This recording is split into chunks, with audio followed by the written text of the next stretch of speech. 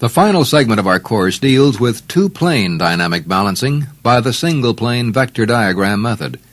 You will find that the majority of your dynamic balancing will be in the two-plane class. As you may recall from the introduction to this course, two-plane balancing of the type we will be showing you is not really much different than single-plane balancing. In fact, the calculations, measurements, and formulas are identical to those you've already learned. In short, you will simply learn to apply the vector diagram method to a two-plane situation. The only real difference is that you must take the cross effect into account. This is the piece of equipment we'll be using in this segment to demonstrate the procedures for two-plane balancing. It's a rotor which has been removed from an electric motor.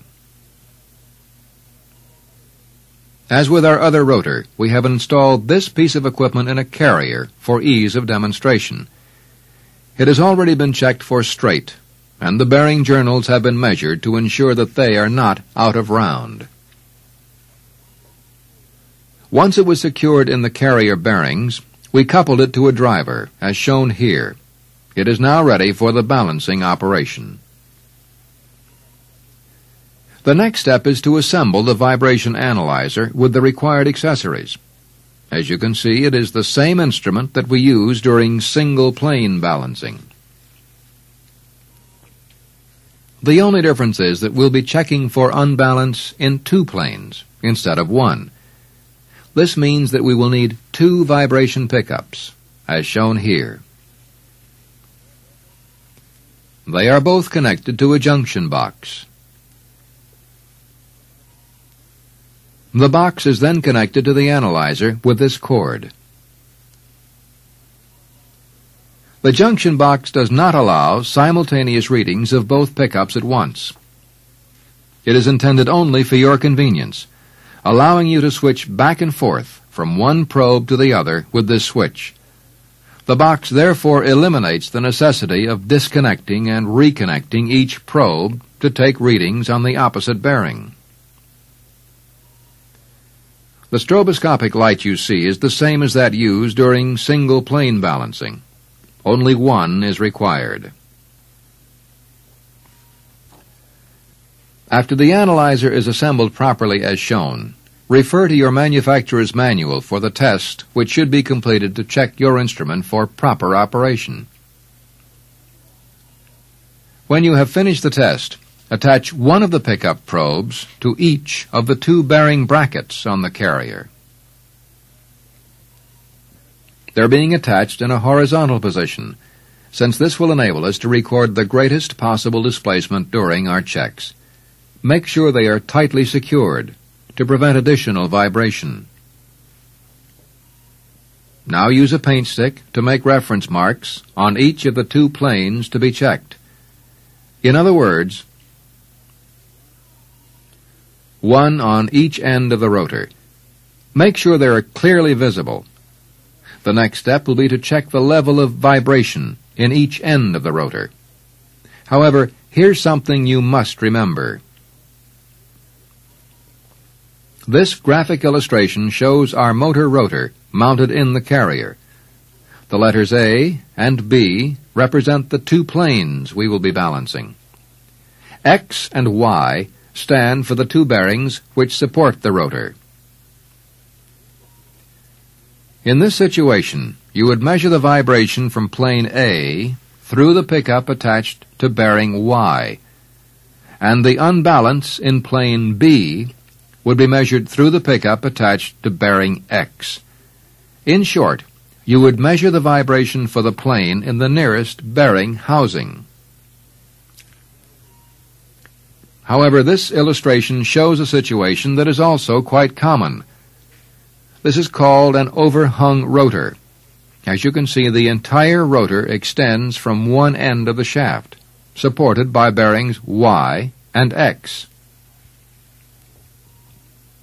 In this case, you would monitor the vibration from plane A through the pickup attached to bearing Y, the closest bearing. However, the unbalance in plane B would be picked up at bearing X. Remember this in case you encounter a similar situation. There are also other unusual situations you'll encounter in two-plane balancing, in addition to what we've shown you here. Since it's impossible to cover all of the possibilities, we've selected the two examples which will illustrate the majority of the unbalanced situations you'll come in contact with. The next step in our two-plane balancing problem is to start the driver and bring the rotor up to operating speed. When it is stabilized, turn the filter out on the analyzer and measure the amplitude of the vibration on one of the bearings. Adjust the instrument until the displacement registers in the upper two-thirds of the scale. Once you have an accurate reading, use the junction box to switch to the pickup on the opposite bearing. Compare the reading from the second bearing to that from the first bearing. Select the bearing that is emitting the highest displacement, according to the readings just taken. The end generating the most vibration must be balanced first. Since this is a suspended rotor, the highest reading came from this plane of the rotor, since it is closest to the bearing the reading was taken from. Next, turn the filter back in on your analyzer and determine the frequency at which the rotor is turning. As you may recall, this may be done with the needle on the amplitude meter, as being pointed out here. Or by using the strobe and the oscillator to freeze the reference mark. From this point on, you simply balance this plane of the rotor using the same methods you were shown for single plane balancing. You may not be able to eliminate as much of the unbalance as would be expected. Remember, though, that much of the remaining vibration may be generated through cross effect from the other end of the rotor. Once you have removed the majority of the unbalance from the first end of the rotor, switch to the pickup on the second end of the assembly. As before, engage the strobe light and locate the reference mark. Tune the analyzer until the mark is frozen in place by the light. Complete the balancing of the second end of the rotor using the single plane vector diagram method. Don't forget that the remaining vibration on this end may be caused in part by cross effect from end number one. Although you removed most of the unbalance present there, there will be some remaining vibration which would be transmitted back to this end through cross effect. The next step will be to switch back to the pickup at the first end of the rotor and check it again for any remaining unbalance. If the vibration that still remains is not within acceptable limits, it will be necessary to rebalance each end of the rotor until the required corrections are made. Here's a very important point to remember. Approach the remaining unbalance on each end of the rotor as a completely new unbalance problem. Construct a completely new vector diagram for each end disregarding the diagrams you used for the first phase of balancing. However, the balance weights installed during the first attempts should be left in place. Simply add the new weights where your calculations call for them. Continue the process until the balance in both planes of the rotor is within acceptable limits. That's the basic procedure to be followed in most common two-plane dynamic balancing. Needless to say, there will be variations and problems which are peculiar only to a certain piece of equipment. For these, it may be necessary to consult your supervisor or a specialist at your plant for advice on the procedure to be followed. Once you've become familiar with single and two-plane balancing, you will undoubtedly be expected to go into multiplane balancing. This is an advanced type of balancing that requires a great deal of experience and application of knowledge that you have acquired through the simpler forms of balancing.